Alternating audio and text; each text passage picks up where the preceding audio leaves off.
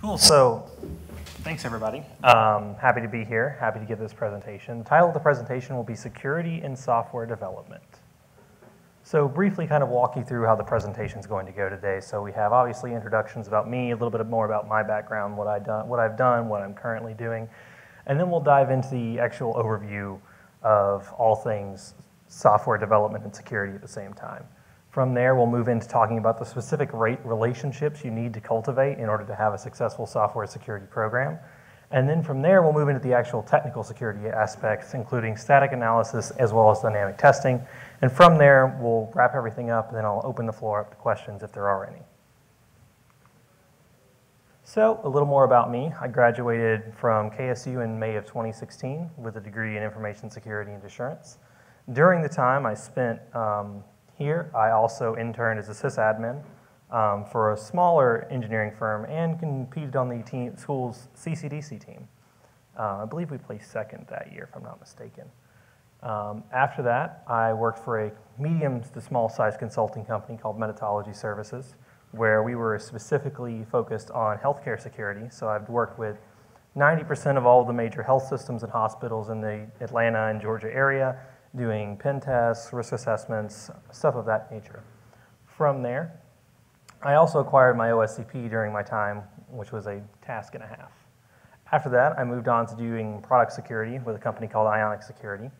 Um, currently, there, I work with my manager to sort of provide the dynamic testing aspect of um, the product security focus, as well as general pen testing services, since that's inside my wheelhouse to do but the real reason you came here. So, software security and development.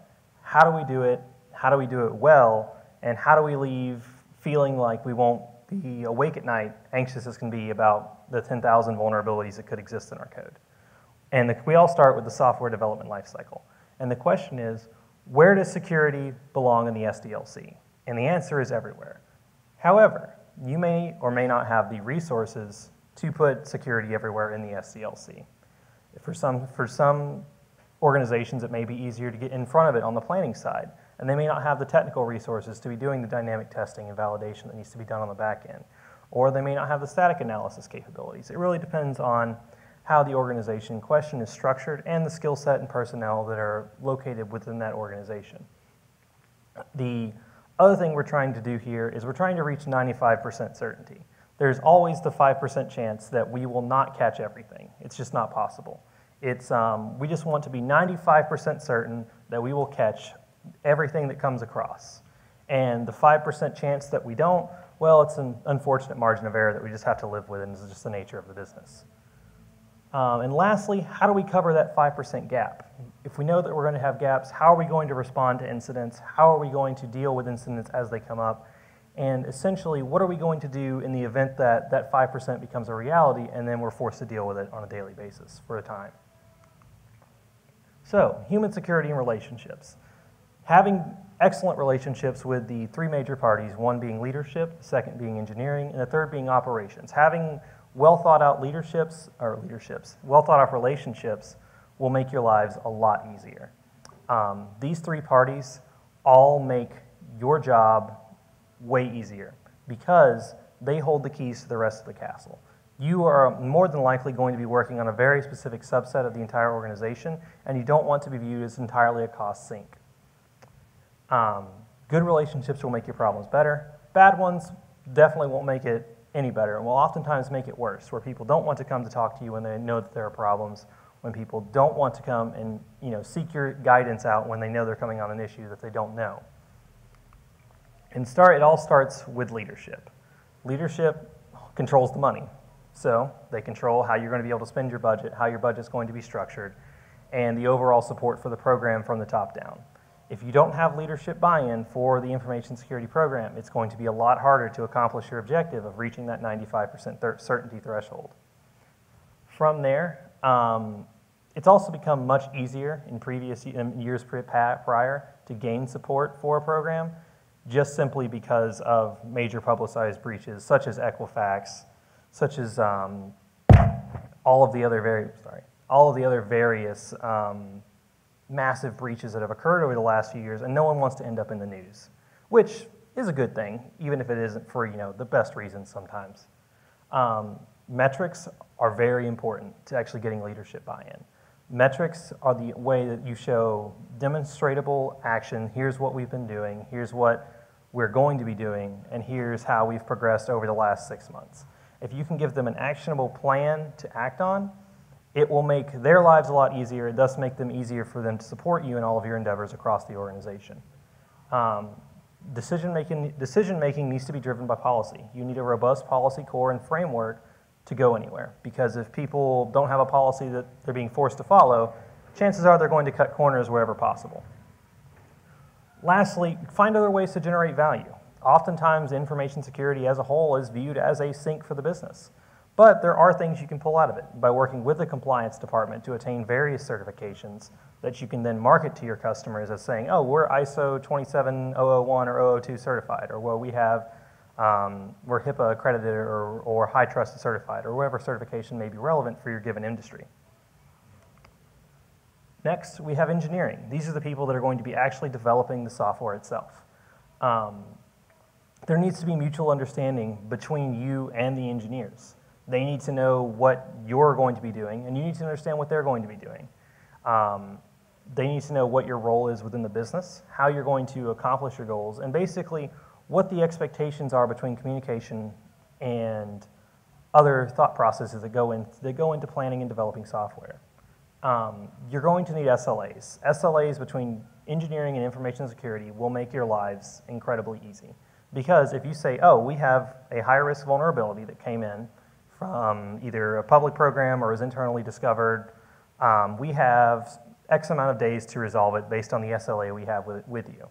And that needs to be thought out well between the engineering, engineering and information security department and then improved by all people. Because if you have an SLA that one side can't agree to, what you're going to end up having is you're going to expose yourselves to more risk and then open up the possibility that your customer's data or whoever's data is held inside of your software might be compromised.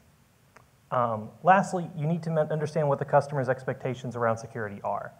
If you don't think that the customers are expecting the app to be any kind of secure and they understand that there's going to be you know, insecure data flowing through the application, does it make sense to actually spend the money and go through and secure it and test it properly?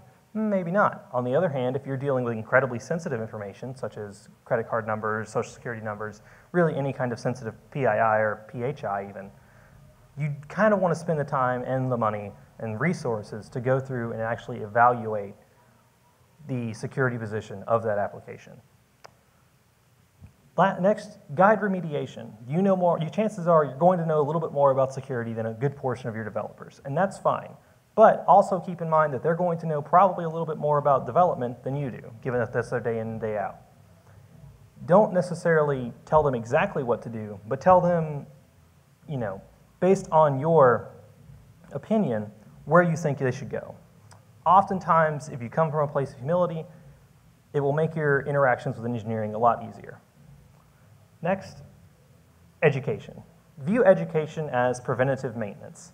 If you will educate your users on secure coding practices, it will make everything easier because they will already have a baseline for understanding that, oh, maybe I shouldn't pass raw input to the SQL query or you know, maybe I should validate any user input that comes into the application, both on the server side and the client side. Next, we have operations. So these are the people that are going to actually be operationalizing your software in a given environment. They will have the firsthand knowledge of how to deploy it, how it's deployed, and everything such as that. The most, you could build the most secure application in the world, and if the machine it's running on has not changed its default password ever, it does not matter how secure that code is because all of the data is going to be compromised very quickly. Automation makes everybody happy. If you can automate as much of the operations process into your own, where your security scans and your security jobs are going to be automatically called by them when they build their applica- when they build the applications themselves, everyone will be happier because that's less work that they have to do on their end to notify you, and it's less work that you have to do to manually sift through all of the complexities of manually scanning software. Next, you can identify infrastructure problems, similar to what I spoke of before, default passwords that aren't changed, operating systems that are out of date. anything of that nature that could be a problem with the infrastructure, which could potentially compromise the application, and the software running on that infrastructure. Next, you need to analyze your service communication and your external footprint. So how much of the application is actually being exposed to the internet? Is it just port, port 443 on HTTPS? Is it something else? Are you running you know, dynamic ports or high ports in the 40,000 range? Is there anything like that out there that they might know of that you might necessarily catch at the first glance? And examine your internal service, internal service communication. As we all know, um, the NSA had access into, inside of Google's data centers for forever. And Google did not encrypt their data until they found out, found out their transmissions until they found out after about Because you don't think that you, know, you need to encrypt data between various service communications until you actually sit down and realize that you need to assume that the system itself is compromised. And when you adopt that defense in depth strategy, it makes everything a lot easier. Lastly, procedures. Everybody hates writing procedures, but procedures will save you in the long run when you have that one-off incident that you don't know how you're supposed to react to. If you can sit down, think about them beforehand, put together an actionable plan that you can move forward with, it'll make everyone's lives a lot better because they instantly know what they should be doing at a given time.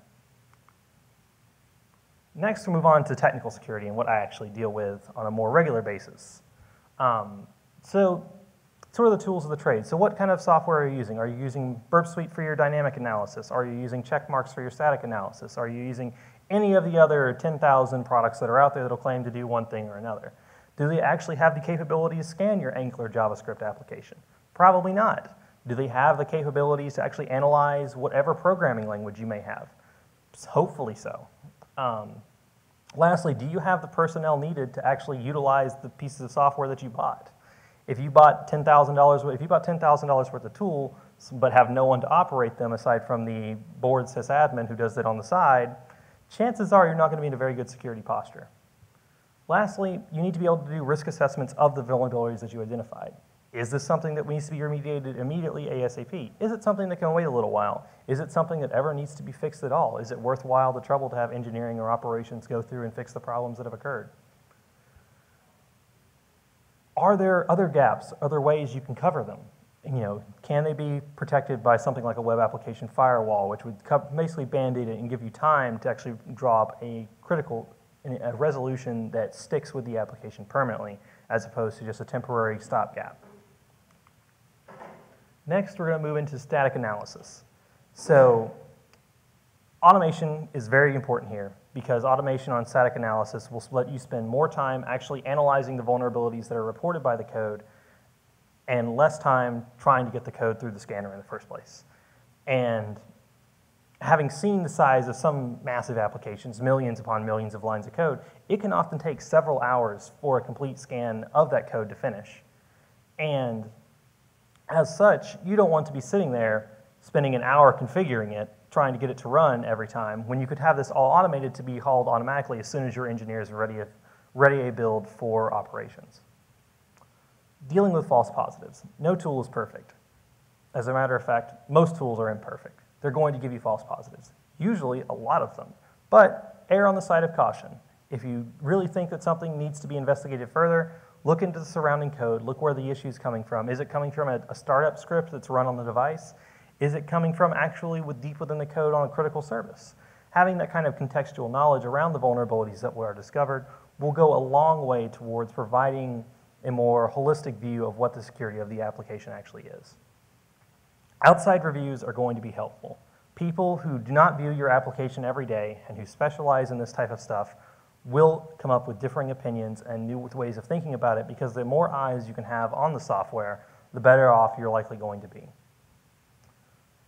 Lastly, you need to complete the puzzle with dynamic testing. Anything that you find in static analysis is just that. It's a potential, it's a potential issue. You don't know if it actually exists. The runtime that could be reported as a SQL injection vulnerability could not actually be reachable by human input. It could be somewhere else completely. It could be only exposed on the back end by um, some operations personnel. Do you still need to fix it? Probably, but it just changed the level of risk associated with that given vulnerability. Lastly, dynamic testing, what I get to do every day that I absolutely enjoy. Um, the hunt for vulnerabilities. So you need to do fuzzing. You need to be able to submit you know, random input, be it the three emoji string that crashed an iPhone a few months back, or you know, some random Arabic characters that your application may not be designed to interpret. Because you're trying to induce vulnerabilities. You're trying to induce error, the application to respond in a way that it is not intended. Last, next, once you find that actual issue where it throws up an error code, say it doesn't respond correctly, or you're expecting a 403 response code and you end up getting a 200, naturally you're going to want to investigate that to see if there's anything actually there.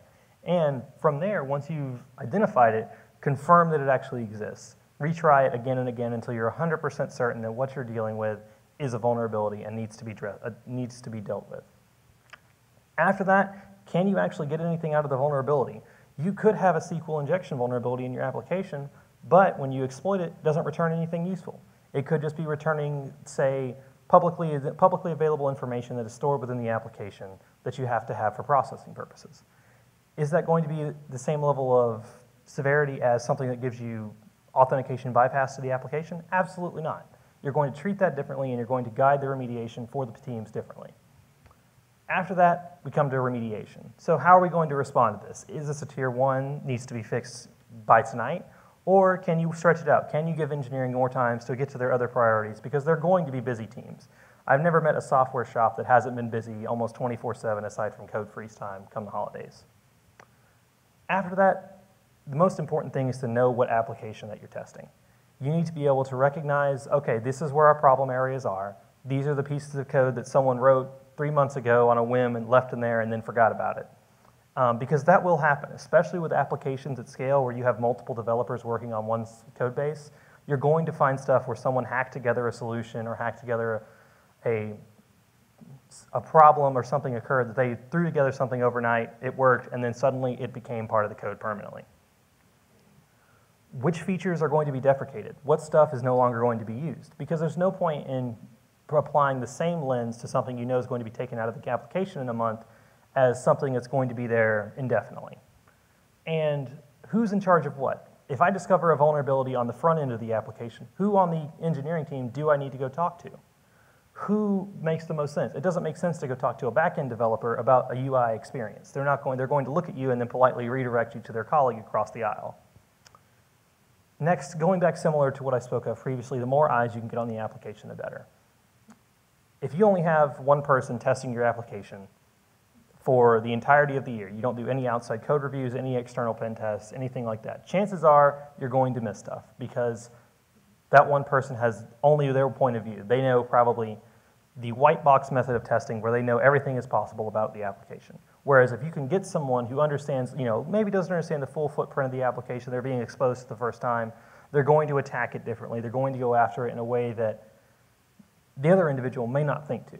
It's just going to be common sense that the more eyes you can get on something, you're going to get differing. You're going to get differing opinions. You're going to get differing points of view, and you're probably going to discover more about the application than you previously thought. Lastly, as we come to the conclusion of it, um, no software product is perfect. If someone claims to write perfect, completely secure code, chances are they're trying to sell you something. If security belongs everywhere in the SDLC. You need to figure out where it makes sense to insert it in your particular organization. If you can get in front of it during the planning stages, excellent. That'll make your lives a lot easier and you'll head off problems later on down the road. Maybe you can't though. Maybe for whatever political reasons you can't talk directly to engineering or you don't have that kind of relationship with the engineering leads to go to them and say, what are you going to be working on for this next sprint or whatever you're having that's understandable. But you have to understand that you have to cover that gap somewhere else in the, in the line. So if you can't do that, but maybe you have an excellent team of pen testers who can go at the application 24-7, or at least 8-5, um, then it'll make your lives a lot easier. Relationships are going to matter as much as technical proficiency. I always joked that I got into this industry and this business because I didn't like dealing with people, and I spend about 80% of my time dealing with people instead of actually working on computers. Lastly, static and dynamic testing are needed.